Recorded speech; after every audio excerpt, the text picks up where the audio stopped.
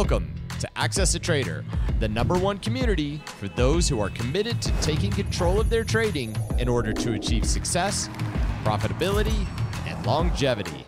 Thank you for joining us. Here's Dan Shapiro to help you find your edge, master your process, and own your future. Hey guys, good evening everybody. Welcome to another edition of uh, the AccessATrader.com uh, nightly wrap-up show. Hope everybody is uh, doing well.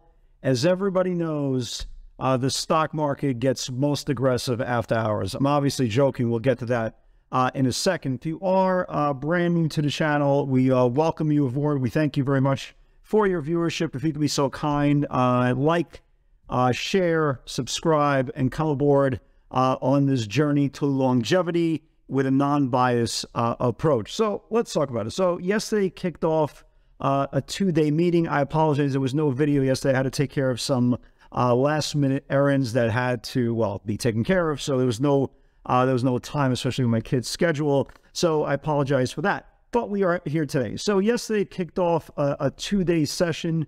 Uh, obviously, that capped off with the two o'clock um, Fed announcement on interest rates, followed by uh, Chairman Jerome Powell's comments, the Q&A, and the whole kib and caboodle. So we knew kind of going into today's session, there was a chance that the market was going to give us a very, very slow session. Because again, who's going to really start getting aggressive ahead of ahead of the Fed? And we we got that. If if you look at the Qs, uh, if you look at the Qs throughout the day, before Powell came on, they did absolutely nothing, like literally nothing, right? We went literally sideways the whole day. You just see it. The whole day we went sideways.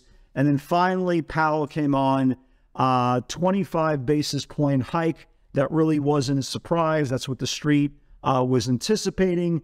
Um, they also, you know, he also started giving a little bit of hints that, hey, there maybe is a light at the end of the tunnel and hinted on certain fronts, at least that the language uh, started playing out, that there actually, you know, could be a scenario uh, that they start putting an end to hikes maybe as early uh, as the next meeting. We don't know by now. But the, the key was the market did nothing as far as the market as the market went.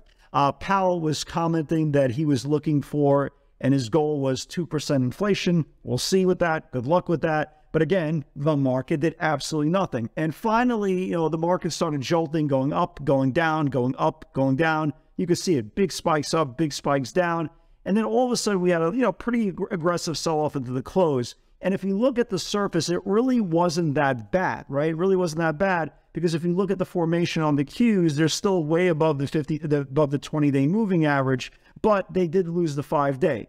Here's where things got spicy, right? And if you sat there like me throughout the day, I was just literally watching paint dry. I, I did not put on one thing in the, it, like literally one thing in for six, nearly six hours of the day.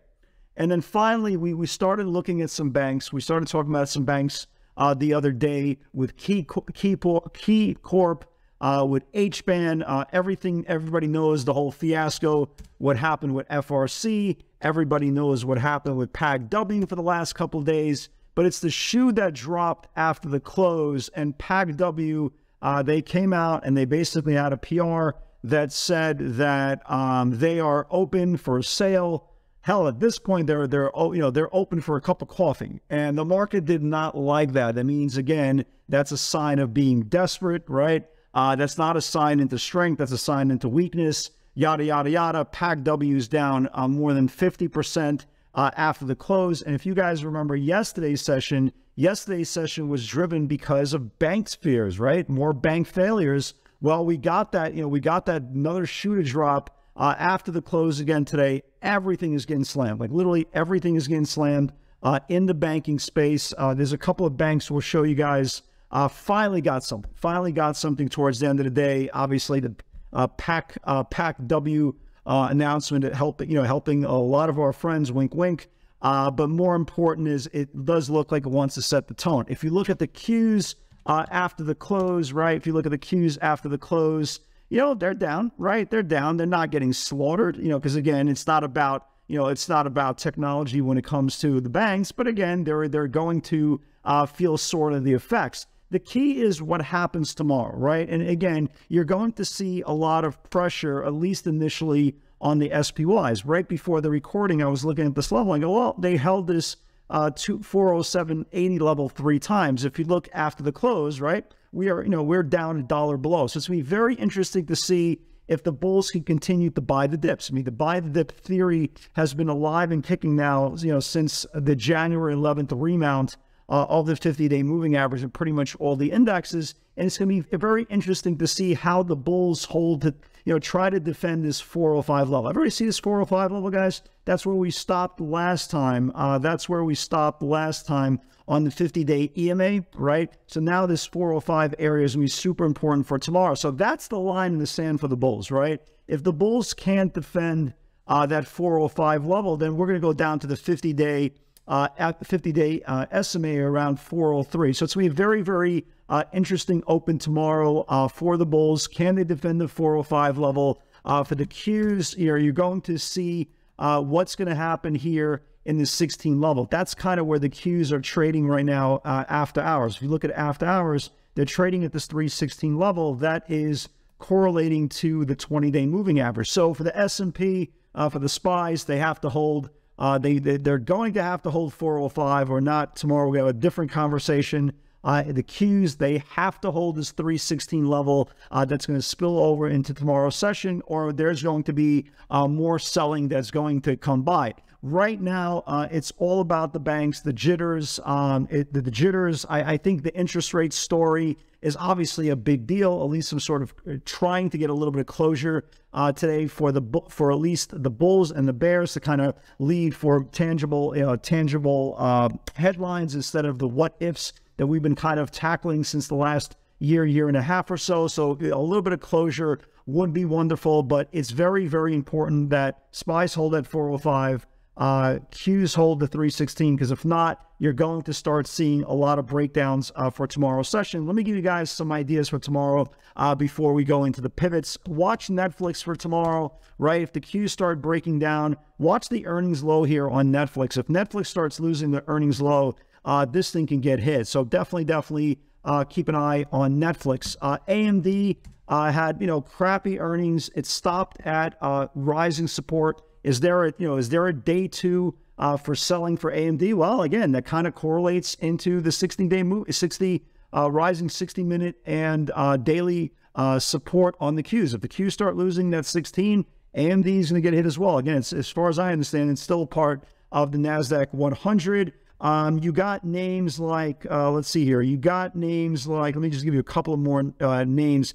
NET broke down today. They came out with earnings a couple days ago. They blew out at earnings. They stopped at the linear regression line. NET starts losing today's channel tomorrow. You, look, there's a lot of room all the way down. So this is the, it's in the cloud space. So everything is correlating. If the Qs break down, everything you're going to see stocks starting to set up one by one by one. And the last thing you're going to want to do is if they if, if both the SPYs and the Qs start losing support, the last thing you're going to want to do is try to, you know, try to catch a falling knife because there's going to be room. So very, very important uh, outing tomorrow uh, for the Bulls, for the Bears, and sees who has control. If the Bulls uh, want to survive, they're going to need to sit there and reclaim, you know, reclaim that 316 level of on the Qs and obviously defend uh, 405 uh, for uh, the SPY. So let's talk about the day, right?